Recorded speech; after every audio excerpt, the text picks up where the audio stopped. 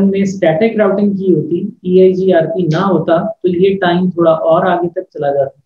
क्योंकि N H R P का timer फिर ट्रिगर होता। क्योंकि हम E I G R P use कर रहे हैं तो पहले ई पी का टाइमर ट्रिगर हो गया। हम वापस हब को लेके आते हैं ताकि रूट्स एक्सचेंज हो सके।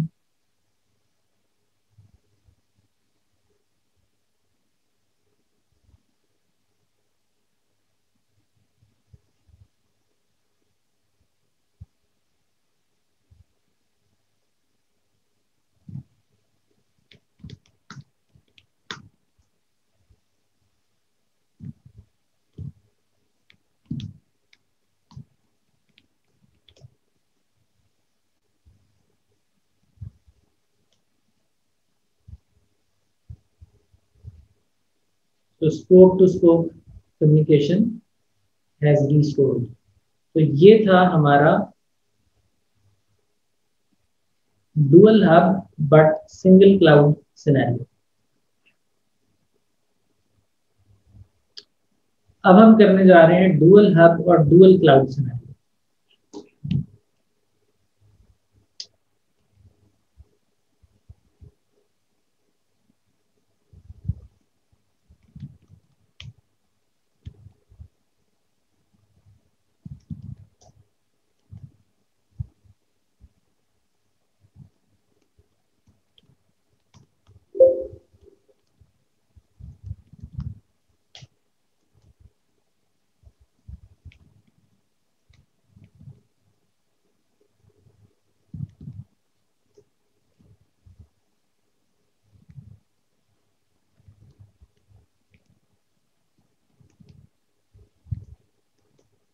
राउटर्स को हमने दोबारा बूटस्ट्रैप कर लिया। अब इनमें टनलिंग की कॉन्फ़िगरेशन नहीं है। So let's configure the script for dual cloud dual hub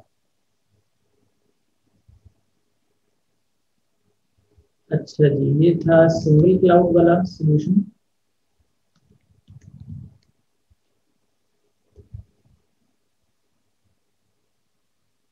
now we are going for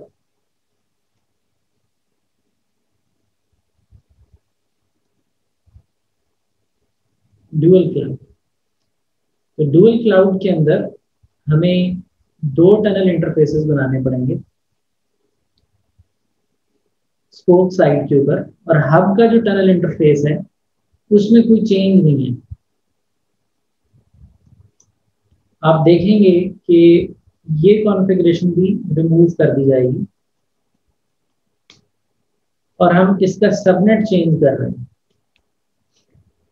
so so, ये एक इंडिपेंडेंट राउटर है। ये एक इंडिपेंडेंट राउटर है। इसका टनल आईपी 172.16.11 है। इसका टनल आईपी 172.16.21 है। ये एक अलहदा सबनेट है। ये एक अलहदा सबनेट है। इनका एक दूसरे से कोई ताल्लुक नहीं है। माँ सिवाय कि इनका जो सबनेट है वो बैकएंड के ऊपर कॉमन है।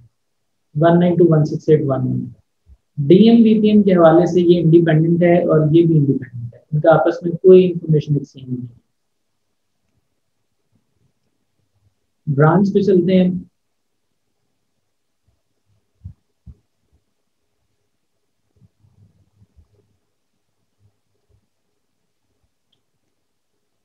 अगर हमने आर थ्री को एक डुअल क्लाउड वाली स्पोक बनाना है तो हमें उसमें दो टनल इंटरफेसेस बनाने पड़ेंगे। एक टनल वन एक टनल टू टनल वन का एनएचएस हब वन रहेगा। टनल टू का एनएचएस हब टू बनेगा।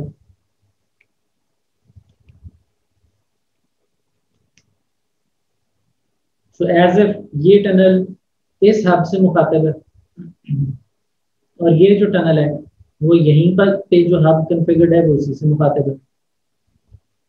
दोनों इंडिपेंडेंट ऑफ़ ईच अदर है। इसमें एक चीज़ का ख्याल रखिएगा कि जो टनल की की है, ये आपकी टनल्स की सेम नहीं होनी चाहिए। क्योंकि जीआरई e में हमने पढ़ा था कि टनल की की वैल्यू डिस्टिंग्विश करती है जीआरई e के पैकेट को from one tunnel to the other so इस तवसत से हमें इस टनल की की चेंज कर देनी चाहिए।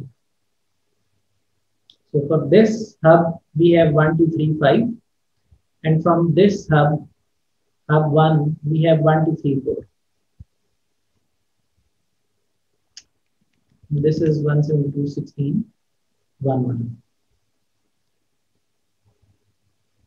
so, two different tunnel interfaces और यहाँ पर हमारे पास क्योंकि वन से चलिए हमने ब्रॉड ऑन किया हुआ है तो E I G R P दोनों टनल सबनेट्स के ऊपर इस एक नेटवर्क की कमांड के तवसत से ही ऑन हो जाएगा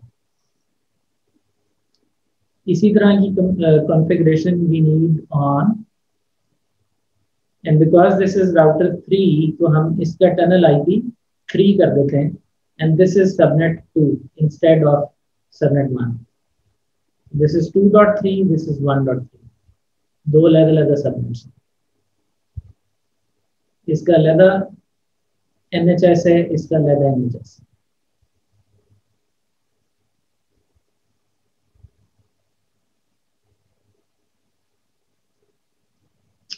router 4 के एतबार से only change will be these items. Rest is all तो configure करते हैं इसको so apparently there is nothing wrong with the configuration this is only uh, the caches that are being uh, uh, not flushed timely since this is a lab system so it happens sometimes configuration में हमारी uh, कोई issue नहीं है so that is as this so you can see we have tunnel 0 here we have tunnel 0 on the other hub as well और ये comparatively simpler होता है to configure as compared to single cloud. क्योंकि ये भी एक independent tunnel uh, है ये भी एक इंडिपेंडेंट टनल है इनका आपस में कोई ताल्लुक नहीं है एक दूसरे से। वेर एज जो uh, ब्रांच साइड है यहाँ पर जो हम वीपीएन बनाते हैं तो वहाँ पर हम दो टनल्स क्रिएट करते हैं एनजीआर और दोनों डिफरेंट सबनेट को बिलोंग करती हैं। One will anchor to hub 1 and the other will anchor to the second hub. So does that make sense? Any confusion in it?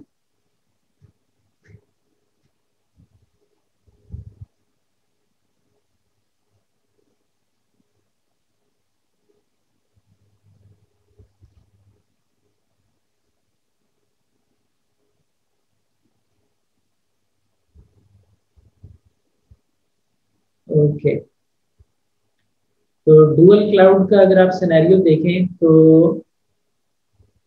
इसमें hub one and hub two will be identically independently configured for MGRE दोनों का एक दूसरे से कोई ताल्लुक नहीं है।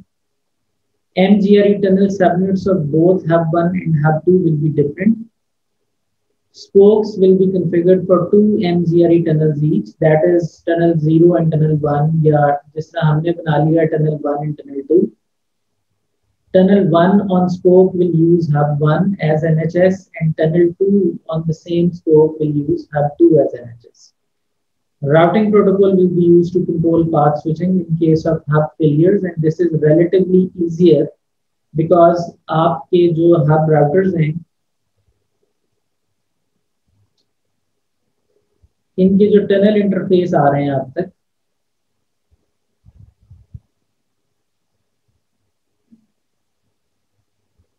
Basically have two tunnel interfaces पर स्कोप तो आप, ये अगर आपका टनल इंटरफेस वन है और ये आपका टनल इंटरफेस टू है तो आप इस इंटरफेस में जाके delay let say E I G R T का थाउज़ेंड सेट कर दें। और इसमें जाके आप डिले टू थाउज़ेंड सिलेक्ट कर दें स्पोर्ट साइट के ऊपर। तो ये रूट जो है, ये प्रेफर हो जाएँगे। यानी आप कॉमन सबनेट में वाया हब वन जा रहे होंगे। और अगर हब वन टनल डाउन हो जाती है तो फिर ये 2000 डिले वाला पाथ प्रेफर हो जाएगा और आप via hub two common subnet तक पहुँच जाएँगे। इसकी कॉन्फ़िगरेशन में ये हब की कॉन्फ़िगरेशन है। Hub one and hub two independently इसी तरह कॉन्फ़िगर होंगे। एक चीज़ का आपने ख्याल रखना है कि जीआरई की कीज जो है, वो बोथ हब्स के ऊपर आप डिफरेंट रखें, क्योंकि जब एक ही स्पोक पर दो टनल्स एंकर होंगी और उनकी की आपने सेम रखी होगी for example one two three four and one two three four it will create an issue so एक टनल की जीआरई की की अगर आपने वन टू थ्री फोर रखी है तो दूसरी की for example one two three five कर जीआरई की की ताकि यहाँ पर जीआरई के पैकेट्स अलग अलग टनल इंटरफेस पे लैंड कर सके। की बेसिकली इसलिए फीचर है जीआरई में टू डिस्टिंग्विश अमंग टनल्स और इसी तरह ये जो टनल वन बनेगी स्पोक साइड के ऊपर, उसमें आपने वन साइड का मैप कर दिया। और की जीआरई की जो इस्तेमाल करेंगे, यहाँ पे that should not be used on the tunnel two यहाँ पे डिफरेंट की होनी चाहिए। use a different key. Don't have to.